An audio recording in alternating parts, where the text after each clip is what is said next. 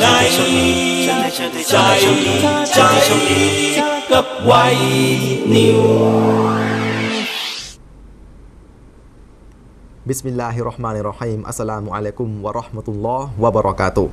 พบกับผม อับดุลอาซีม คุณทาดดี ในข่าวต้นชั่วโมงครับ จีนไทย มาเลเซีย รวมถึงอินโดนีเซีย เรียกร้องอเมริกา และพันธมิตรให้ความกระจ่าง หลังมีรายงานว่าใช้สถานทูตดักฟังทั่วเอเชีย รายงานเอกสารที่เปิดเผยโดยนายเอ็ดเวิร์ดสโนเดนและตีพิมพ์ลงในนิตยสาร Der Spiegel ของเยอรมนี ระบุว่า สถานทูตสหรัฐ ออสเตรเลีย แคนาดา และนิวซีแลนด์ ในประเทศต่างๆ ทำหน้าที่ติดตั้งโปรแกรมดักฟังโทรศัพท์ที่มีชื่อว่า State Room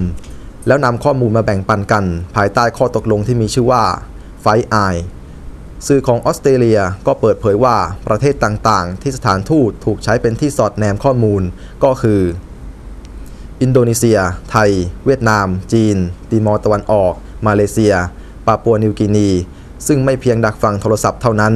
แต่ล้วงข้อมูลทางการใช้งานอินเทอร์เน็ตด้วย นายหัวชุนอิง โฆษกกระทรวงต่างประเทศจีน ได้เรียกร้องให้รัฐบาลสหรัฐ ให้ความกระจ่างต่อรายงานดังกล่าว โดยเร็ว เช่นเดียวกับนายมาตี้นาตาเลกาวารัฐมนตรีต่างประเทศอินโดนีเซีย ที่ออกมาระบุว่า หากเรื่องดังกล่าวเป็นความจริง ก็ไม่อาจยอมรับได้ เพราะเป็นการละเมิดทั้งด้านความมั่นคง และจริยธรรม นายเดสบอนผู้เชี่ยวชาญด้านข่าวกรองของออสเตรเลีย ยืนยันว่าสถานทูตของประเทศเหล่านั้นอย่างน้อย 5 ประเทศ มีการติดตั้งเสาอากาศไว้ดักฟังข้อมูลจริง โดยซ่อนไว้ในโครงสร้างของอาคารสถานทูต และเชื่อว่าประเทศต่างๆ ก็ทำแบบเดียวกัน เพียงแต่ยังไม่ถูกเปิดเผยออกมาเท่านั้น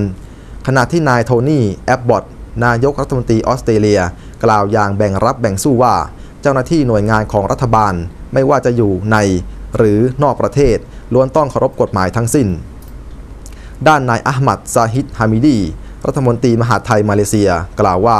เรื่องนี้ถือว่าร้ายแรงต้องตรวจสอบให้ได้ว่า สถานทูตสหรัฐในกรุงกัวลาลัมเปอร์ มีพฤติการณ์อย่างที่ระบุหรือไม่ ขณะที่ไทยเองพลโทพารดอนพัฒนาถาบุตร เลขาธิการสภาความมั่นคงแห่งชาติ กล่าวว่าการสอดแนมขัดต่อกฎหมายไทย และจะไม่มีการให้ความร่วมมือในการสอดแนมอย่างแน่นอน พบกับข่าวไว้ข่าวไวครั้งต่อไป เวลา 14 นาฬิกา อินชาลออัสสลามุอะลัยกุม วะราะห์มะตุลลอฮ์วะบะเราะกาตุ